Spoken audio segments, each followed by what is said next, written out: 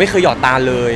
จนมันแห้งมากๆ จนเวลาที่เรากระพริบตาครับ พอตามันแห้งมากๆ เปลือกตามันไปขูด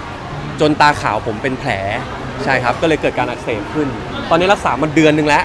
ก็ยังแบบบางวันก็ดี บางวันก็อยู่ๆก็แสบขึ้นมาอีกอะไรแบบนี้ครับใช่ครับ แล้วก็มีหลาย ๆ ท่านคือเราไปรักษาที่โรงพยาบาลที่เฉพาะเจาะจงเกี่ยวกับเรื่องตาเลย คนไข้ที่ไปอะครับเป็นโรคเดียวกันกับผมเยอะมาก ผมรู้สึกว่าโอเค สิ่งเหล่านี้ ผมไม่อยากให้ทุกคนมานั่งรักษา เราป้องกันไว้ก่อนที่จะมารักษาดีกว่านะครับก็อาจจะเป็นแฟนมิตรครั้งสุดท้ายของพี่สิงห์แล้ว เออทำไมเออทำไมมีอะเคลียร์เคลียร์ก่อนสิที่เขาบอกว่าเราจะไม่ขึ้นคอนเสิร์ตกันแล้วเอออะไรอย่างเงี้ยก็จริงๆเราได้ทำการเอ่อเรียบเรียงและบอกเล่าไปแล้วว่า มันอาจจะเป็นถึงเวลาที่เราเดินทางกันมานานมากจริงๆนะครับสำหรับคิดสิงห์คือ 7 ปีแล้วก่อนที่เราจะถูกบรรจุลงในแกรมมี่อีกก็เกือบ 10 ปีนะครับ ทั้งหมดนั้นอะไรเงี้ยครับ เท่ากับว่าเราเดินทางกันมานานมากๆ แล้วมันถึงช่วงเวลาแล้วอะที่ทุกคนจะได้ออกไปในทิศทางของตัวเองอะไรเงี้ยครับพี่สิงห์เขาก็มีเส้นทางของเขาเราเองก็มีเส้นทางของเราเราที่เราต้องไปต่อเหมือนกันอะไรเงี้ยครับ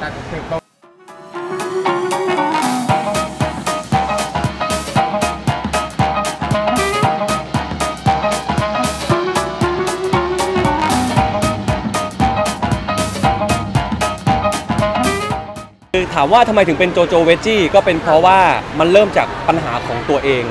คือเป็นเพนพอยต์ของเราเลยที่เรารู้สึกว่าผมกินผักไม่ไหว ผมกินผักไม่ได้ คือพยายามอย่างมากแล้วอะไรอย่างเงี้ยครับแล้วเชื่อว่ามีหลาย ๆ คนนะครับ น่าจะต้องเป็นเหมือนเรา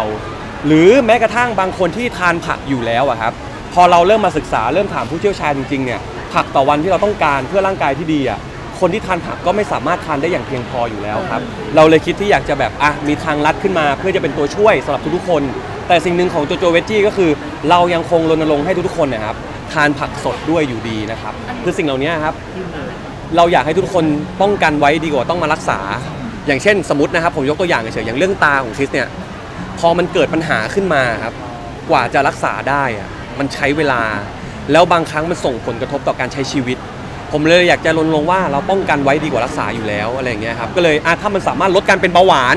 ลดการเป็นความดัน ลดการเป็นโรคมะเร็งเลยอะครับได้ถึง 50%อย่างเงี้ยครับผมว่ามันมันก็เป็นสิ่งที่น่าจะเอามาส่งต่อให้กับทุกๆคนได้รับรู้ด้วย เรื่องเมื่อตากี้เราเมื่อก็กี้มีบอกส่วนว่าตาถ้าตาเนี่ยถ้าประเด็นมันเกิดอะไรขึ้นกับตัวหนูบ้างก่อนหน้านี้นอนเออตาที่มีปัญหาเริ่มต้นจากการใช้สายตาผิดวิธีมากจนเกินไป ติดโทรศัพท์ ติดการแบบ คือผมชอบเล่นเกมด้วยเล่น ROV ด้วยอะไรอย่างเงี้ยครับเราก็ชอบเล่นในไฟที่มันไม่ถูกต้องด้วย ไม่ไม่สว่างพอ หรือว่าระยะห่างระหว่างทีวีกับโซฟา มันใกล้มากเลย เพราะผมชอบดูแบบใกล้ๆอะไรอย่างเงี้ยครับแล้วก็บอกกับว่าคือการทำงานของเรามันเจอแสงไฟทั้ง UVA UVB เยอะแยะมากมายอะไรอย่างเงี้ยครับมันเลยเกิดตาแห้งขึ้น แล้วเราไม่ได้ไม่ได้ดูแลมันคืนอะผมไม่เคยหยอดตาเลย จนมันแห้งมากๆ จนเวลาที่เรากระพริบตาครับพอตามันแห้งมากๆ เปลือกตามันไปขูด จนตาขาวผมเป็นแผลใช่ครับ ก็เลยเกิดการอักเสบขึ้น ตอนนี้รักษามาเดือนหนึงแล้ว ก็ยังแบบบางวันก็ดี บางวันก็อยู่ๆก็แสบขึ้นมาอีกอะไรแบบเนี้ยครับใช่ครับแล้วก็มีหลาย ๆ ท่านคือเราไปรักษาที่โรงพยาบาลที่เฉพาะเจาะจงเกี่ยวกับเรื่องตาเลย คนไข้ที่ไปอะครับเป็นโรคเดียวกันกับผมเยอะมาก ผมรู้สึกว่าโอเค สิ่งเหล่านี้ผมไม่อยากให้ทุกคนมานั่งรักษา เราป้องกันไว้ก่อนที่จะมารักษาดีกว่ามันนะอันตรายขนาดที่นี้เธอที่บอเกิกดว่ายังไงบ้างอะ คุณหมอบอกว่าตาขาวของผมมีแผลเยอะมาก เป็นแผลริ้วๆ เหมือนเส้นผมแบบขีดขีดขีดขีดเพราะมันเกิดจากเปลือกตาขูด แล้วมันทำให้บางครั้งผมนอนเนี่ยมันปลุกผมขึ้นมา เพราะมันแห้งจนแสบมากๆแล้วอะไรอย่างเงี้ยครับแล้วสิ่งที่เกิดขึ้นคือผมนอนไม่ได้ ผมนอนไม่ได้มาประมาณ 7 คืนติด เพราะตอนนั้นเป็นช่วงที่แอคทีฟมากๆ มันรุนแรงมากๆ ตาบวมเลยอะไรอย่างเงี้ยครับแล้วมันส่งผลกระทบต่องานจริงๆอะไรอย่างณเงี้ยตอนนั้นที่นอนได้เจ็ดวันนี่คือแบบว่าหลับไม่สนิทเลยนะครับรือว่าหลับไม่ได้เลยครับ คือโอ้โหคือไม่ใช่ว่าหลับไม่สนิทนะครับ มันนอนไม่ได้เลยครับ คือมันปลุกเราแล้วก็บางครั้งผมต้องไปโรงพยาบาลตอนตีสามบางครั้งต้องไปโรงพยาบาลตอนตีห้ากว่าจะนอนได้ได้รับยาชามาอะไรอย่างเงี้ยครับนอนตอน7จ็ดโมงตอน8ปดโมงเช้าอะไรอย่างเงี้ยครับแล้วเราต้องไปทำงานต่อเนี่ยมันส่งผลกระทบจริง ๆ ครับวิธีการรักษาคือพูดจริง ๆ ว่าสิ่งที่เราทำได้คือเราต้องทำได้แค่หยอดตาเท่านั้นเลยครับ เพราะว่าจริงๆ แล้วคนที่เป็นภูมิแพ้ด้วยอะก็มีผลทำให้มันรุนแรงขึ้นนะ เพราะว่ามันจะมีต่อมน้ำตาตัวหนึ่งครับมันอยู่บนหัวตา อันนี้คุณหมอบอกนะครับ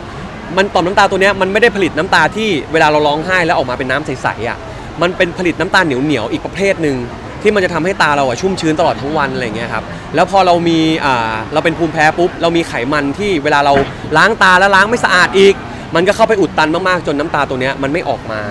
พอมันไม่ออกมาปุ๊บเนี่ยมันก็เป็นเรื่องใหญ่เลยครับ ตาแห้งง่ายมาก ตอนนี้คุณหมอวินิจฉัยแล้วว่า ผมเป็นโรคตาแห้ง มันจะส่งผลถึงขั้นแบบว่าการมองเห็นหรืออะไรอย่างนี้ไม่คิดถ้าเราไม่ดูแลมันกระจกตาทะลุได้นะครับ อันนี้คือสิ่งที่เขาบอกนะครับ แล้วก็สิ่งที่ผมทำตอนนี้เหมือนผมมีโรคประจำตัวเลยอะก็คือเราต้องพกยาหยอดตาติดตัวไว้ตลอด แห้งปุ๊บหยอดหยอดหยอดแห้งปุ๊บหยอดหยอดหยอดไปตลอดเลยครับ ผมเป็นห่วงตามากคือตอนเนี้ย คือจริงๆคุณหมอบอกว่าให้เราพัก 2 อาทิตย์ รับรองว่าหายแน่ แต่ว่าช่วงนี้เป็นช่วงเปิดกล้องพอดีครับ แล้วก็ถ่ายรายการ Golden Song ด้วย คือเราไม่สามารถพักได้จริงๆครับ ก็เลยต้องพยายามเซฟเท่าที่เซฟได้ไปก่ถ่าอยนละครนะครับมันไม่กระทบหรอหรือว่าก็สามารถถอดแว่นได้ ต้องถอดเท่านั้นครับ คือถ่ายละครก็จะใส่แว่นไม่ได้อยู่แล้วอะไรอย่างเงี้ยครับ ก็จะมีบางครั้งที่พอตกเย็นปุ๊บมันเออร์เลอร์แล้ว เพราะว่ามันโดนไฟเข้ามาเยอะมากๆ สิ่งที่ทำได้มากที่สุดก็คือหยอดตาแล้วก็ประคบร้อน ประคบร้อนเพื่อลดบวม หยอดตาเพื่อให้มันไม่แห้ง แต่ถามว่ามันหายขนาดนั้นไหมอะไรอย่างเงี้ยครับมันก็ยังแสบอยู่ดีครับ ต้องพักงานแล้วเพื่อที่จะเหมือนรักษาให้หายสนิทก่อนเดี๋ยวค่อยมาเริ่มต้นทำงานใหม่คือถ้ามันเป็นก่อนหน้าเนี้ย ผมก็จะขอพัก แต่ว่าทีเนี้ยมันเป็นงานที่เป็นงานถ่ายทำที่มันจะกระทบคนอื่น เยอะมากเป็นร้อยชีวิตเลยอะไรอย่างเงี้ยครับแล้วเขาวางแผนกันมานานมากๆแล้ว ก็คงจะต้องพยายามดูแลตัวเองให้ดีที่สุดและทำงานต่อไปครับ หมอบอกว่าหายคือสายตาเราเนี่ยไม่ได้เกี่ยวกับเรื่องของสายตาใช่ไหมที่ตาแห้งคือคำว่าหายขาดที่บอกคือแผลที่มันเป็นอยู่อะครับ มันอาจจะหายได้ ถ้าเกิดว่าเราดูแลมันอย่างดีภายใน 2 อาทิตย์ แต่โรคตาแห้งของผมเนี่ยไม่หายแล้ว หลังจากนี้ผมคงต้องเป็นตาแห้งไปเรื่อยคือต้องหยอดตาแล้วก็ดูแลอย่างที่เคยบอกว่าทำการรักษาที่หมอบอกๆ ใช่ครับผมแล้วถ้าเกิดว่ามันไม่มีแผลแล้วแล้วตาแห้งอะอย่างน้อยหยอดแล้วเราใช้ชีวิตได้ครับ เรานอนได้เราไม่เจ็บตอนกลางคืนอะไรอย่างเงี้ยครับ พอไปหาหมอแล้วตอนนี้มันหลับลงค่อนข้างเยอะกว่าเก่าไหมคือหลับลงเลยครับ คือเราก็ดูแลตามที่หมอบอกเลย แต่ว่าบางวันที่มันโดนหนักๆ แสงไฟหนักๆทำงานตลอดทั้งวันหนักๆ บางทีมันก็ปลุกผมอยู่นะครับ ใช่ครับโอ้เลิกเลยครับ ตอนนี้คือเลิกเลย แล้วก็ทีวีที่บ้านไม่ได้เปิดเลย ตั้งแต่เป็นตั้งแต่เกือบเดือนแล้วอะครับ ใช่ครับ เรียกว่าต้องกลัวหักดิบไปเลยใช่หักดิบเลยครับ ต้องหักดิบเลยพราะว่าดวงตาเป็นสำคัญด้วยใช่ครับดวงตาสำคัญมากๆครับ ไม่อยากให้แบบไม่อยากให้มาเป็นกันเลยอะทุกๆคนเพราะฉะนั้นดูแลตัวเอง อย่าใช้สายตาแบบผิดวิธีขนาดนั้นรู้อะไรสึกเงี้เลยยครับ ว่าตัวเองอายุน้อยแต่อะไรพักเร็วโอ้โห รู้สึกว่า รู้สึกว่าปี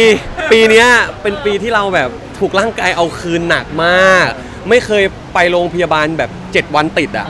ไม่เคยทำเป็นขนาดนั้นเลยครับ มันจะถามกันในเป็นมิที่ญี่ปุ่นนิดนึงเป็นไงบ้าง สนุกดีครับใช่ครับก็เดี๋ยวมันกำลังจะเกิดขึ้นแล้วด้วยอ่ากักับแฟนมิตรที่ญี่ปุ่นกับพี่สิงห์อ่าฮะ ใช่ครับ ก็อาจจะเป็นแฟนมิตรครั้งสุดท้ายของพี่สิงห์แล้ว เออทำไมเออทำไมมีอะเคลียร์ๆก่อนสิที่เขาบอกว่าเราจะไม่ขึ้นคอนเสิร์ตกันแล้วเอออะไรอย่างเงี้ย ก็จริงๆเราได้ทำการเอ่อเรียบเรียงและบอกเล่าไปแล้วว่า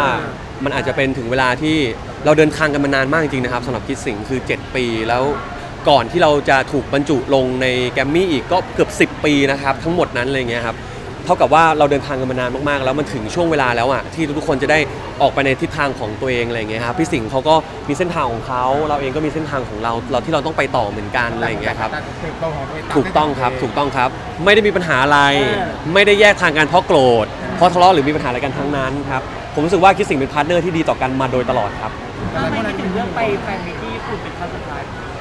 เอ่ทำไมอเลือกคนที่ไทยเออะไรออย่างเงี้ยทำไมเออจริง ๆ แล้วที่ไทยก็มีคอนเสิร์ต LOL ที่เพิ่งเกิดขึ้นไป แล้วเราก็ได้ได้ผมว่ามันเต็มมันเต็มที่มากๆแล้วนะ กับคอนเสิร์ตที่ไทยใช่ครับ แล้วก็จริงๆแฟนคลับญี่ปุ่นนะเราก็บอกกับพวกเขาไว้ว่าเราจะไปหลายครั้งแล้ว แล้วมันเจอโควิดอะไรอย่างเงี้ยครับแล้วก็บวกกับโซตัสเนี่ยเพิ่งไปฉาย คือเป็นประเทศหลังสุดเลยที่เราไปฉายอะไรอย่างเงี้ยครับก็เลยอะถ้างั้นเรา เจอกันที่ญี่ปุ่นน่าจะดีที่สุดแฟครับนแฟนชาวไทยอาจจะบอกว่าเอ้ยทำไมไม่ขอที่ไทยสักครั้งหนึ่งการอำลาเวทีกันเลยผมไม่ติดนะจริงๆผมไม่เคยติดเลยอะไรเงี้ยครับแต่ว่ามันคงเป็นเรื่องของไทม์ไลน์ด้วย เรื่องของเวลาด้วยอะไรเงี้ยครับว่ามันชนกันหรือเปล่าเพราะว่าตอนนี้พี่สิงห์เองเขาก็รับงานของเขาด้วยใช่ครับผมแล้วต้องติดตามเนอะติดตามกันต่อไปครับใช่ครับผมใจใช่คหารับยไม่คิดถึงไม่ถามใจหายเลยแต่ระยะเวลาที่เราทำงานด้วยกันควบคู่คู่คู่กันมาตลอดจริง ๆ ก็ใจหายมานานแล้วนะ ใจหายมาสักพักแล้วเพราะว่าเราโซตัสแค่เรื่องเดียวจริงๆนะทุกคนโซตัสกับ SOTUS S แค่นั้นเลย ทำให้เราแจ้งเกิดใช่ครับผมใช่ครับผมก็คงเป็นสิ่งที่คงเป็นเมมโมรีที่อยู่กับเราไปตลอดอยู่แล้วล่ะครับ